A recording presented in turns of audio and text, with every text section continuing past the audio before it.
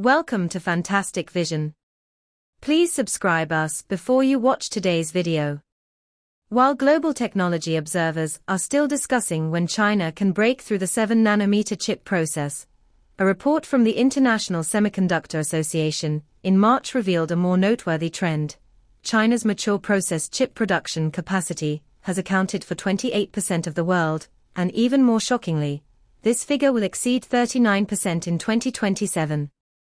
This means that one out of every three traditional chips is labeled made in China. This battlefield, ignored by the outside world, is staging a silent revolution that quietly changes the global industrial chain. Back in 2018, the US's chip supply cut to ZTE was like a thunderbolt, opening the prelude to the Sino-US technology war. At that time, China's chip self-sufficiency rate was less than 20%, and high-end chips were almost entirely dependent on imports. However, it was this next duck crisis that gave birth to the world's largest chip replacement plan. Data shows that in 2023, China's semiconductor equipment procurement will surpass South Korea for the first time, reaching a staggering 42 billion US dollars, of which 70% of the funds will flow to the construction of production lines with 28 nanometers and above processes.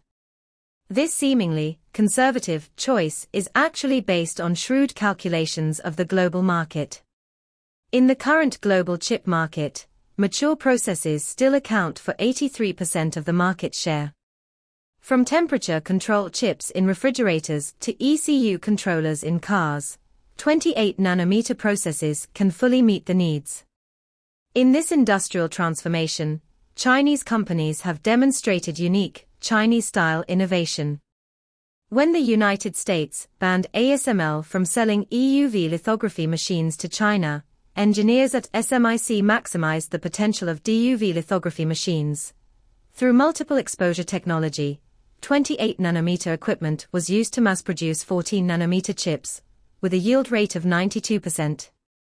This homemade steelmaking breakthrough has given new life to imported equipment originally worth $120 million on Chinese production lines. What is even more surprising is that Chinese manufacturers have cut the cost of silicon carbide wafers to $500 per piece, which is only one third of similar products in the United States, directly leading to a reshuffle of the global power device market. The advantage on the market side may be the winner of this contest. 70% of the batteries and 60% of the motor controllers for new energy vehicles in the world are produced in China, and these components require a large number of IGBT chips. Six out of every 10 smartphones in the world are assembled in China, and these devices are equipped with hundreds of mature process chips. When Texas Instruments moved its analog chip production line to Zhuhai, and when Infineon expanded its third generation semiconductor base in Wuxi, these actions all confirmed the fact that chip companies that lost the Chinese market are like fish out of water. American policymakers are obviously aware of the seriousness of the problem.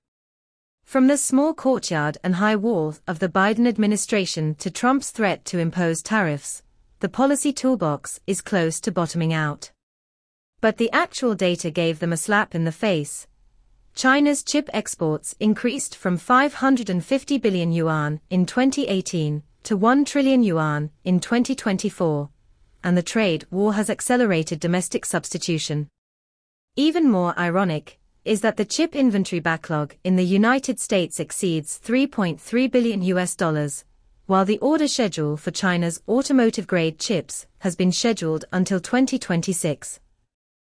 This situation of ice and fire reflects the deep fission of the global industrial chain.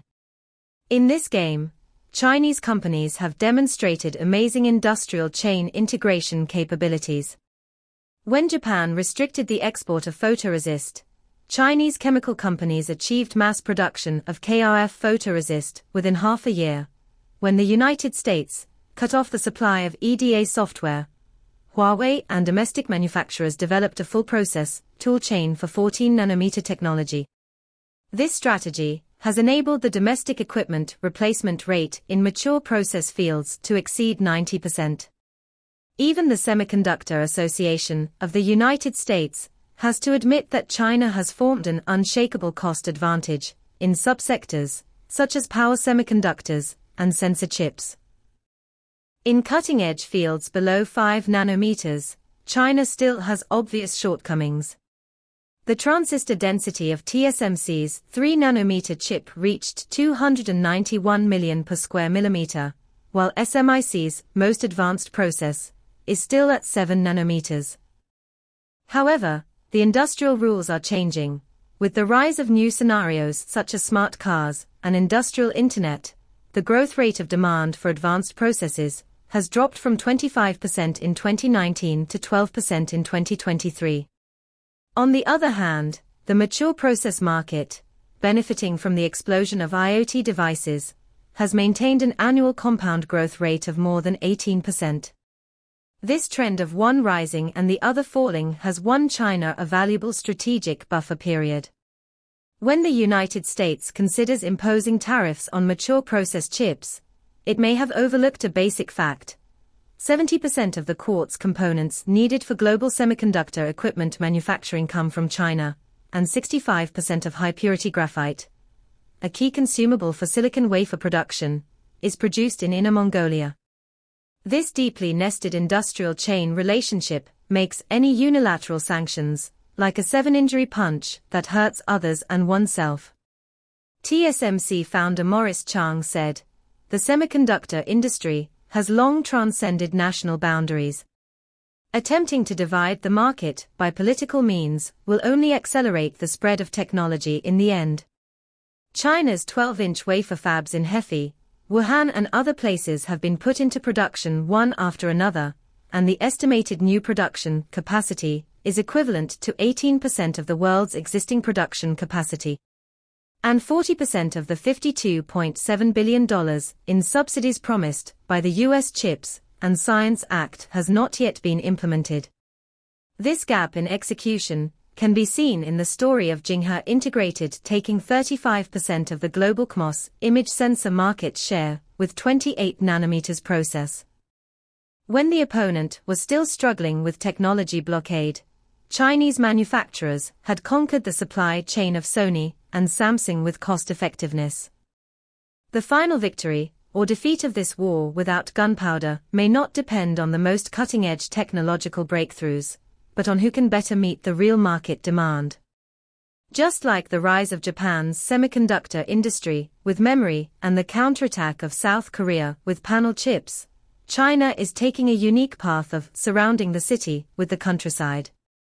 When American engineers were still debugging the 2 nanometers process in the laboratory, the 28 nanometers chips of Chinese factories had been installed in Tesla's charging piles, Siemens inverters, and even Boeing's black boxes. This kind of feedback from the application end may be the most solid foundation for chip autonomy. 20 years ago, no one believed that China could build high-speed rail. 10 years ago, no one expected Huawei to become a 5G leader. Today, when China's mature process chips are sweeping the world, the once unattainable chip power dream is shining into reality in another way. This is not a zero-sum game of either this or that, but a profound revelation about industrial laws and innovation paths. In the era of globalization, the real technological barriers are never the parameters in the laboratory, but the close fit of each link in the industrial chain, and the precise match between market demand and technology supply.